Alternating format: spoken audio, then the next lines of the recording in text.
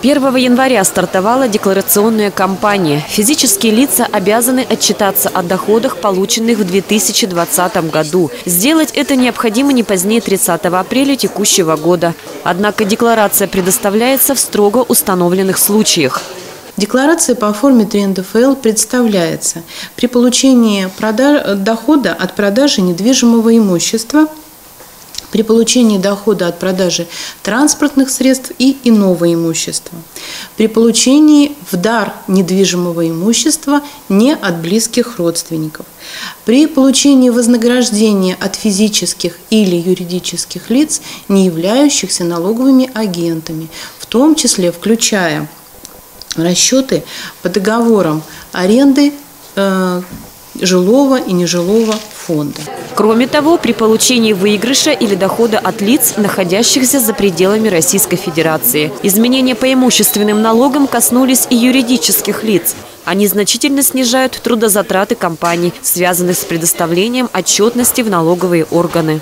Так, с первого квартала 2020 года отменена обязанность представлять расчеты авансовых платежей по налогу на имущество организации.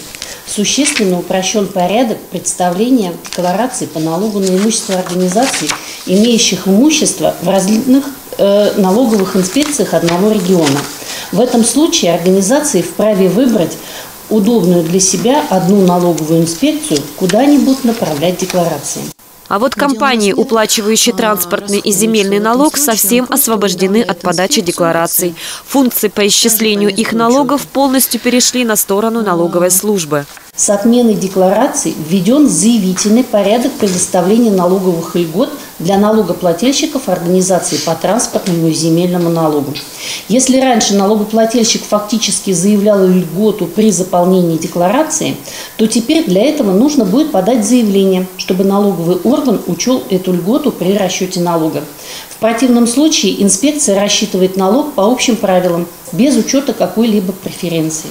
После рассмотрения заявления налоговый орган направляет организациям уведомления о предоставлении налоговой льготы или об отказе в ней.